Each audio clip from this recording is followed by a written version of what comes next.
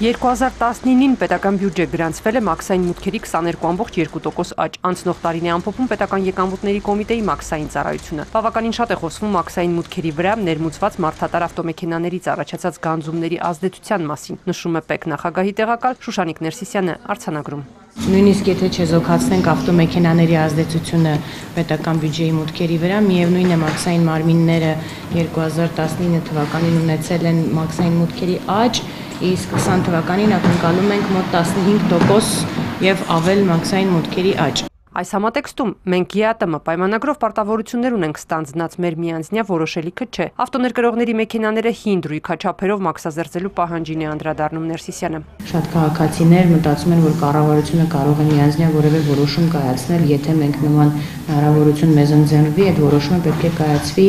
մնացած 4 ԵԿՄ անդամ երկրների կողմից եւս մեզ պետք է թույլ տան։ Ղազախստանի քաղաքացիներին վաճառված ավտոմեքենաների խնդիրը եւս օրակարգային է։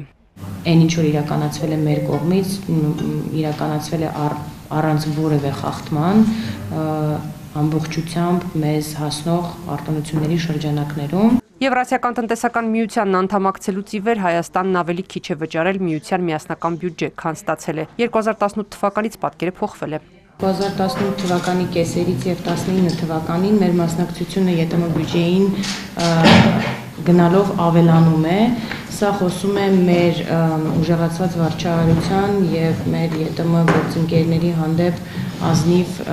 գործընկերային հարաբերությունների մասին։ Աճել է ներմուծում եւ արտահանում իրականացնող կազմակերպությունների թիվը 2018-ին ունեինք 5500, հիմա 12000 տնտեսվարող, տեղեկացնում է Շուշանիկ Ներսիսյանը։ Սա բացատրվում է նոր ֆոլկ անվանմամբ հայտնի սխեմայի փլուզմամբ։ Տնտեսվարողները իրենք իրենց ԱԶՆ-երով սկսեցին զբաղվել իրենց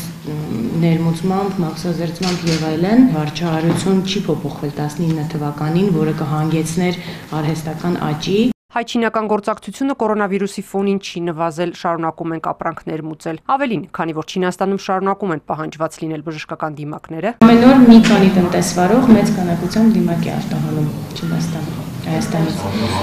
Հա։ Դրա համար եմ ասում դիմակ առեք, հեսա վերջանալու է մեր դիմակները։ Հասմիկ Օհանյան, Արման Թովմասյան, Էպիկենտրոն,